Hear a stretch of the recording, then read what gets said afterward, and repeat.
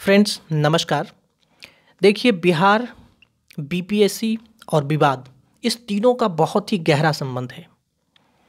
इसलिए इस विषय पर बातचीत भी उसी स्तर से हम करेंगे आज। Sixty seventh B P S C prelims की रिज़ल्ट जैसे ही सत्रह नवंबर को जारी होती है, उसके बाद से दिन प्रतिदिन एक नए खुलासे होते जा रहे हैं।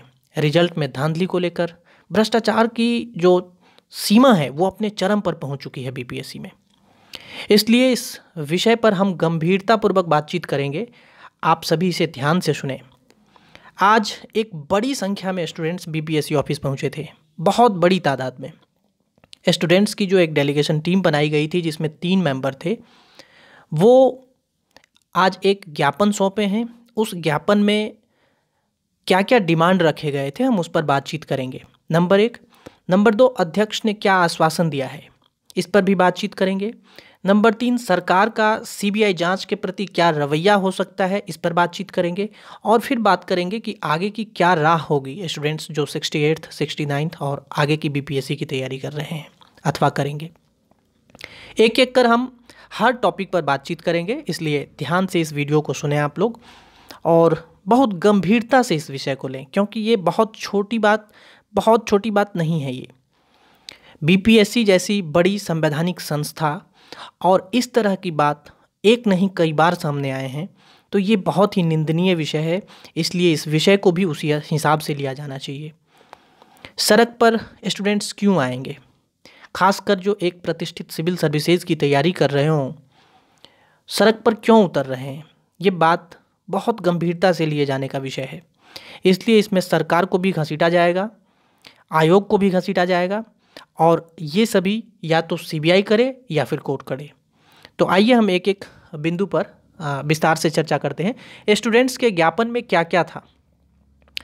देखिए, सबसे पहला जो बिंदु था इनके ज्ञापन में, वो ये था कि रिज़ल्ट में धांधली हुई है पीडीएफ से छेड़छाड़ किया गया है और कट ऑफ़ बहुत ज़्यादा है। दूसरा ये था कि ओएमआर बाहर से भरवाए गए हैं स्टूडेंट्स जो परीक्षा में बैठे थे, उन्हें इस तरह का एक पेन दिया गया था, जिसको बाद में इरेज किया जा सकता है और फिर से पुनः उनको ओ एम आर सीट परीक्षा के बाद निकाल कर भरवाया जाए और फिर जो है उसका मैनुअल चेकिंग किया जा सके, जिसकी पुष्टि अध्यक्ष महोदय अपने बयान में भी करते हैं कि हम मैनुअल चेकिंग किए थे। मार्कशीट में मार्क्स जितने स्टूडेंट्स को दिए गए हैं और फाइनल आंसर की से मिलाने पर दोनों में स्टूडेंट्स के, कई सारे स्टूडेंट्स के अंतर आए हैं। तो ये बातचीत भी रखी गई थी। फिर नौ क्वेश्चन में आपत्ति जताई गई है, उस क्वेश्चन को भी रखा गया है। ठीक है? फाइनल आंसर की, यानी जो फाइनल आंसर की रिज़ल्ट के दिन प्रीलिम्स रिज़ल्ट के दिन दिए जाते हैं, उसको कहा गया है कि आप परीक्षा से पहले रिज़ल्ट जारी होने से पहले दें। तो अध्यक्ष ने कहा है कि ठीक है, हम इसको सिक्सटी एट्थ से लागू कर देंगे। सेवन जो sixty seventh B P S C mains की एग्जामिनेशन डेट है, उसको बढ़ाए जाने की भी बातचीत की गई है। परीक्षा नियंत्रक को हटाए जाने का प्रस्ताव भी रखा गया है। नोटिस जारी करने की मांग की गई है कि इस बिंदु पर आप नोटिस जारी करें। और फिर बातचीत की गई है सीबीआई जाँच की, जो पेपर लीक हुई थी मई में जो एग्जामिनेशन इसकी हुई थी B P S sixty seventh की, उस पेपर लीक की सीबीआई जाँच की मांग की गई है और इसमें जो धांधली हुई है अभी प्रलिम्स रिज़ल्ट में जिसका कट ऑफ़ एक सौ तेरह चला गया है, उसमें भी सीबीआई जाँच की मांग की गई है। तो ये सारे इनके बिंदु थे, जिस पर इन्होंने जाँच की मांग की है और उत्तर में बदलाव की मांग की है। अध्यक्ष के तरफ़ से क्या आश्वासन दिए गए हैं, इसको भी थोड़ा सुन लीजिए। और एक चीज़ ध्यान रखिएगा कि आज का जो ये स्टूडेंट्स का जो प्रदर्शन था वहाँ पर, एक तरह से कहें तो इसमें मीडिया कवरेज काफ़ी अधिक थी। इसीलिए इसका प्रभाव जो है सरकार के ऊपर काफ़ी पड़ेगा। नीतीश कुमार और डिप्टी सीएम इस पर काफ़ी गंभीरता से इस विषय को लेंगे, ऐसा मेरा मानना है। स्टूडेंट्स काफ़ी संख्या में गए थे इसलिए इसका दबाव जो है आ, सरकार के ऊपर पड़ेगा और आयोग के ऊपर भी पड़ेगा। तो इन्होंने ओएमआर भरने में जो धांधली पेन को लेकर जो बात हुई है उसको अध्यक्ष ने देखा है खुद भी उन्होंने फ़ैन चलाकर और कहा है कि ठीक है हम इस पर अपने स्तर से इसको हम जाँच करेंगे।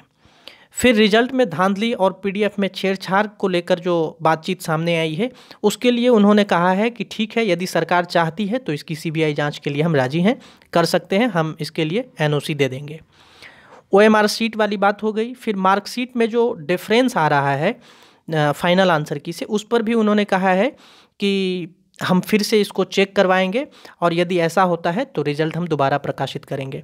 नौ क्वेश्चन पर जिस पर आपत्ति दर्ज की गई है उसमें इन्होंने कहा है कि हम कल जो है उस क्वेश्चन पैनलिस्ट को बुलाएँगे। उन्होंने परीक्षा नियंत्रक अमरेंद्र कुमार को फ़ोन कर बताया है कि आप उन्हें बुलाएँ कल और इसमें जो है आ, इस आ, जो सभी नौ क्वेश्चन हैं उस पर आ, उनसे कहा जाए कि इसको यदि स्टूडेंट्स के द्वारा जो आपत्ति है, यदि यह सही है तो उसके बाद वो हमें बताएँ।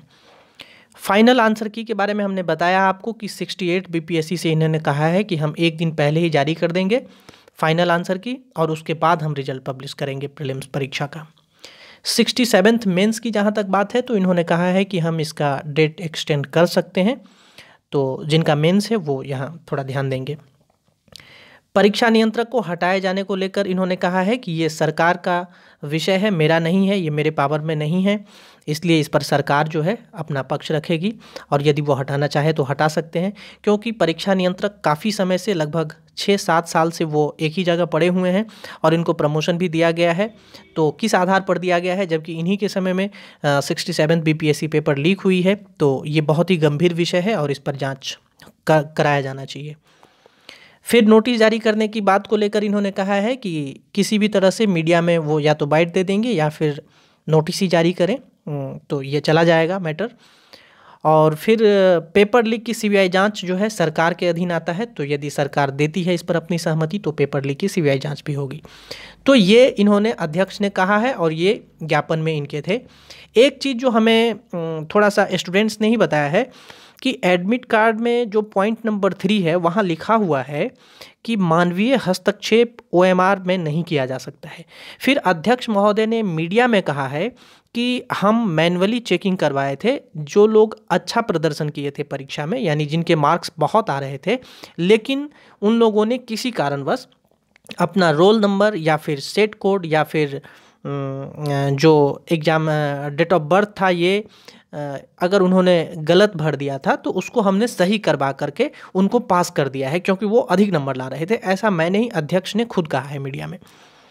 तो मैनुअली चेकिंग की बात तो है ही नहीं, जब एडमिट कार्ड पे स्पष्ट रूप से यह लिखा गया है कि नहीं कर सकते हैं, मानवीय हस्तक्षेप ओ एम सीट में हो ही नहीं सकता है तो फिर ये एक जाँच का विषय बनता है कि आप कैसे, किस स्तर से, किस हिसाब से इसको कर रहे हैं, क्या ये आपके अधिकार क्षेत्र का विषय है, कि किसी स्टूडेंट के मार्कशीट को आप निकाल कर ऐसे ही चेक करें।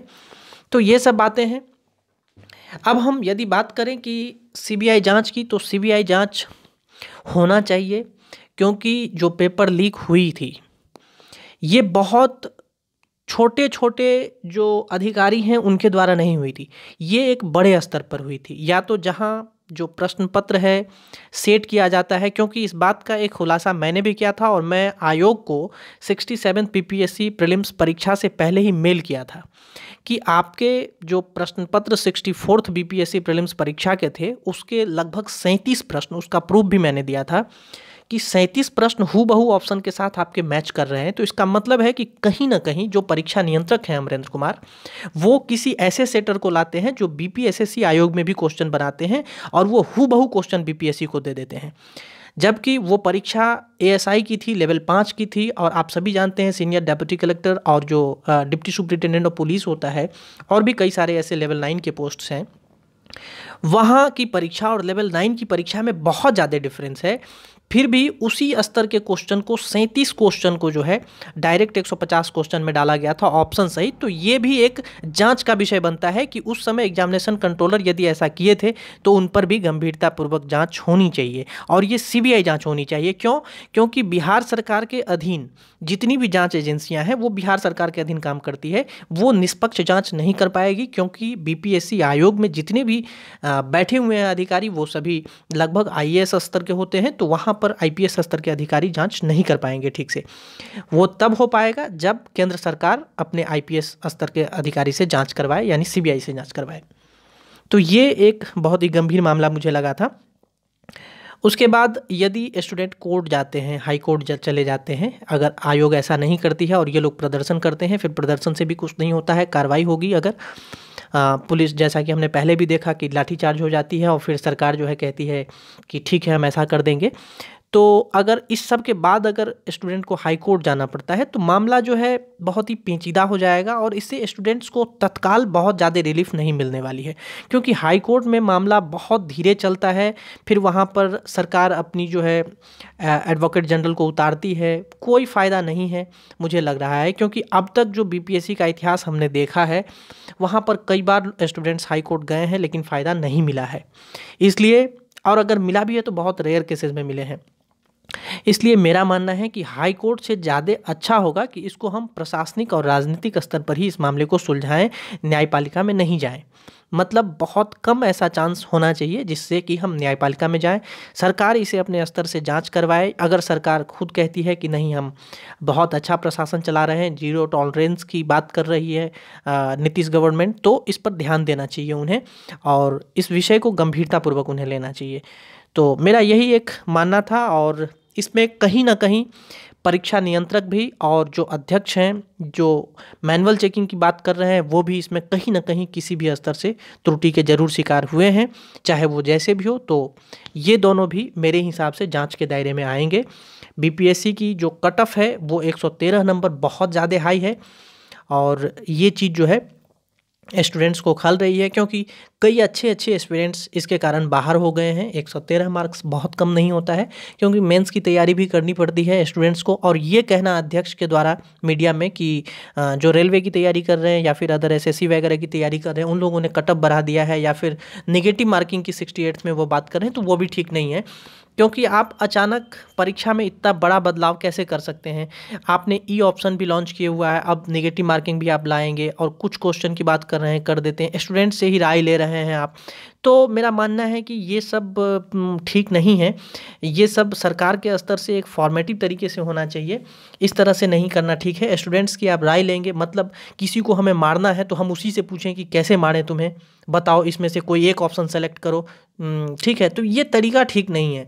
आप स्टूडेंट से राय ले रहे हैं और फिर उसी के नीचे आप ये भी लिखे हैं कि हम इसे मानने के लिए बाध्य नहीं है, हम अपने हिसाब से करेंगे। तो फिर इसका क्या मतलब रह जाता है? कुछ मतलब नहीं रह जाता है। हमने भी पढ़ा है जो सिक्सटी एट्थ पी की आपने नोटिफिकेशन निकाली है। तो ये सब तरीका ठीक नहीं है। इस सब में आप बदलाव करें और ऐसा बदलाव करें जो सर्वमान्य हो, सबके लिए ठीक हो। ये नहीं कि किसी स्टूडेंट से हम राय ले रहे हैं, हम ये कह रहे हैं कि हम ही के हिसाब से चलेंगे और फिर रिज़ल्ट जब निकालते हैं तो कट ऑफ़ आज 113 है, कल को 120 118 119 कर दीजिएगा। अंदर जो खेला चल रहा है वो चल ही रहा है आपका। तो फिर बाहर में ये कहना कि हम ढोल पीटना कि हम बहुत पारदर्शी हैं, बहुत पारदर्शी तरीके से हमने एग्जामिनेशन को कंडक्ट करवाया है, ये सब ठीक नहीं है। इस सब पर ध्यान देने की बात है। और यदि किसी भी स्तर से बीपीएससी आयोग के अंदर, चाहे वो प्रीलिम्स परीक्षा का हो, मेंस परीक्षा का हो या फिर इंटरव्यू का हो। अगर आपके तरफ़ से त्रुटि होती है तो ये त्रुटि बहुत ही निंदनीय है, बहुत ही गंभीरतापूर्वक इसको लिया जाना चाहिए, सरकार के द्वारा भी और स्टूडेंट्स के द्वारा भी। स्टूडेंट्स अपना काम कर रहे हैं, वो सड़क पर उतर कर बी ऑफ़िस आज गए, उन्होंने अपना डेलीगेशन टीम जो उनका बनाया था तीन लोगों का बनाया गया था, उन्होंने अपना ज्ञापन जो है अध्यक्ष को सौंपा है और सरकार से भी वार्ता करने की ये लोग कोशिश करेंगे।